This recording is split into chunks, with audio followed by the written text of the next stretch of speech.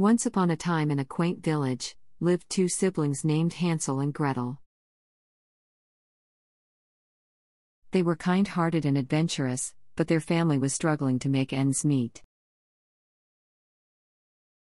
The village was facing a difficult time, with food becoming scarce and the people growing desperate.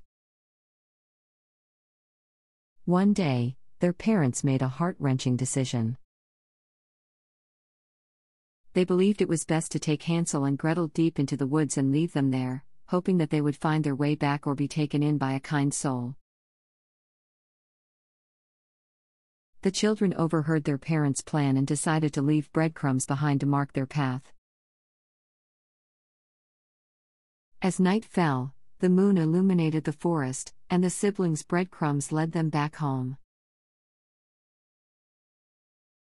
However, their joy was short lived as they soon realized that the forest was inhabited by a cunning and wicked witch. The witch had a house made of gingerbread and candy, a tempting sight for the hungry children. Enticed by the delicious aroma, Hansel and Gretel approached the witch's house. As they took a bite, the witch revealed her true intentions she was a witch who lured children to fatten them up and eat them. She captured Hansel and imprisoned him in a cage, planning to devour him once he was plump enough. Gretel, though frightened, was clever and resourceful. She pretended to be obedient and asked the witch how to check if the oven was hot enough.